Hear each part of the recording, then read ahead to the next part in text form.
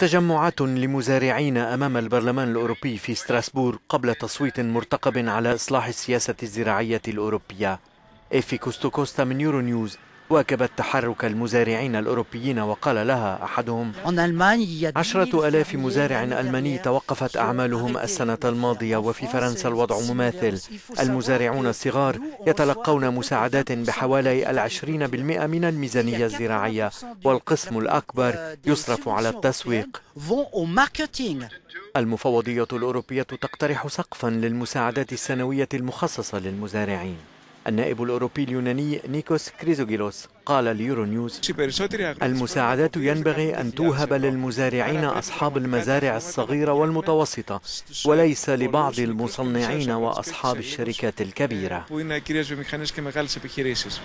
القانون المقترح يفرض تطبيقا لبعض الشروط البيئية من أجل حصول المزارعين على مساعدات.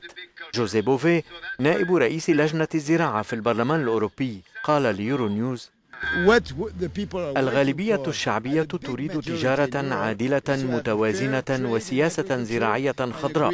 فإذا لم يصوت البرلمانيون كما يلزم فسيتم نشر أسماء النواب الذين لم يصوتوا وفق رأي أغلبية الأوروبيين.